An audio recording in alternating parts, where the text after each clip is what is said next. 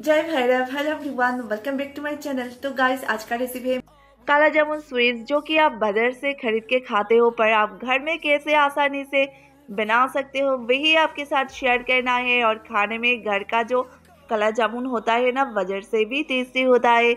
तो चलिए guys recipe शुरू करते हैं। सबसे पहले हम शुगर सिरप बनाएँगे। इसके लिए मैंने पैन में डाल दिया है पानी और इसके साथ मैं शुगर ऐड कर रही हूँ।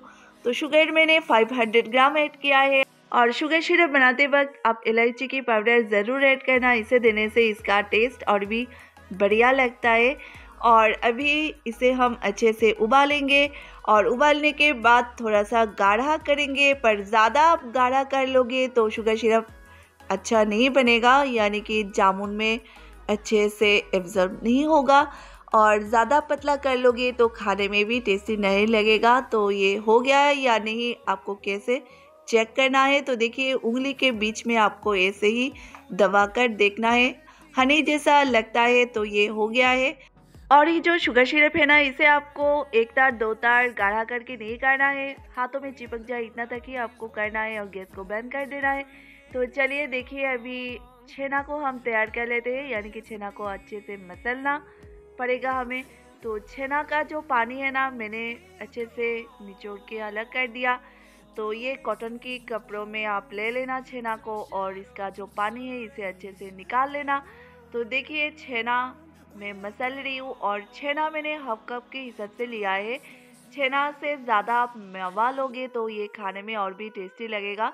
घर में आप काला जामुन बना रहे हो तो स्वाद में कॉम्प्रोमाइज़ क्यों? तो इसलिए आप हाफ़ कप छेना लेना और एक कप से ज़्यादा आप मावा लेना तो इसका टेस्ट और भी बढ़िया लगेगा और आपके पास मावा नहीं है तो कोई नहीं आप पाउडर मिल्क भी इसमें ऐड कर सकते हो इस प्रोसेस में आप पाउडर मिल्क ऐड कर देना और हाथों की थम से ऐसे ही हमें प्रेस कर करके इसे मसलना पड़ेगा और इसे इतना तक मसलना होगा जब तक ना छेना का टेक्सचर जो है ना क्रीमी जैसा ना बन जाए तब तक हमें ऐसे ही मसलना पड़ेगा।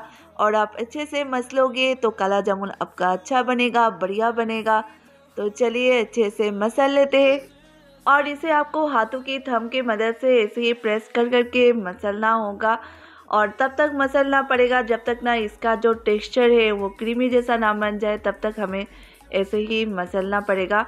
तो चलिए अभी इसके साथ मैदा ऐड कर लेते हैं। तो मैदा मैंने हाफ़ कप लिया है और इसके साथ मैं बेकिंग पाउडर ऐड करूँगी और बेकिंग पाउडर मैंने हाफ़ टी स्पून ऐड किया है तो आप देखिए टेक्सचर देखिए, छेना का तो ये क्रीमी जैसा बन गया है ना तो इसमें अभी मैं ऐड करूँगी मैदा और बेकिंग पाउडर जो मैंने पहले से ऐड करके रखा है बेकिंग पाउडर के साथ मैदा तो मैदा आप ज़्यादा नहीं ऐड करना, ज़्यादा आप मैदा ऐड कर लोगे तो जो काला जामुन है ना, वो हार्ड बन जाएगा।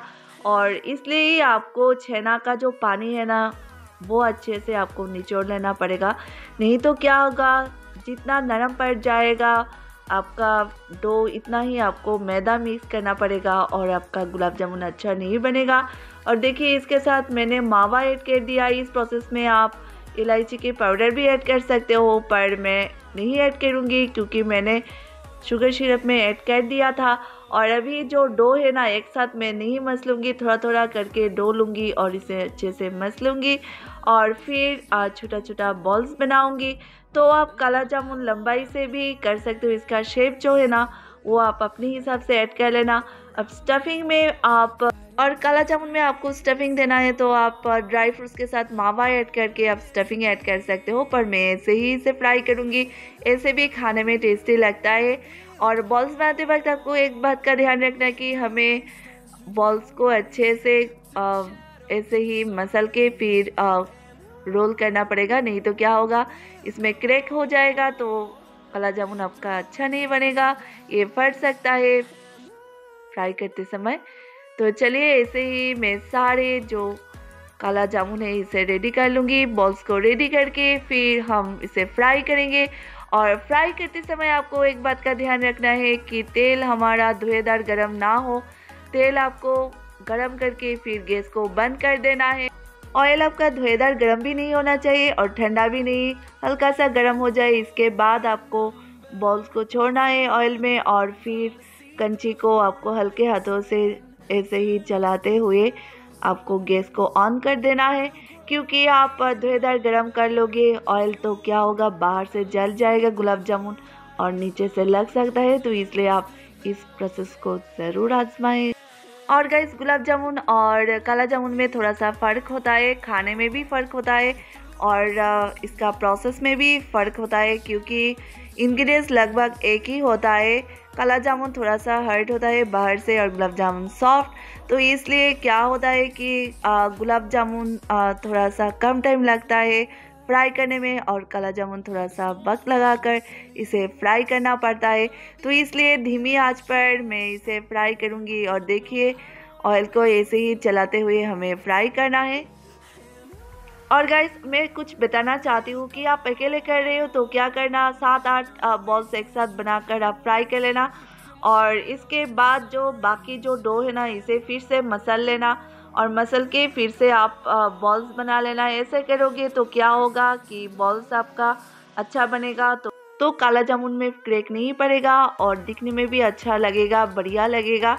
तो चलिए लास्ट में आपको दिखा देती हूँ कैसे आपको फ्राई करना है। देखिए मैं हाथों से ऐसे ही देख रही हूँ, ज़्यादा हीट तो नहीं हुआ है तेल, और इसके बाद मैं बॉल्स को छोड़ रही हूँ, ऐसे ही आप करना नहीं तो क्या होगा?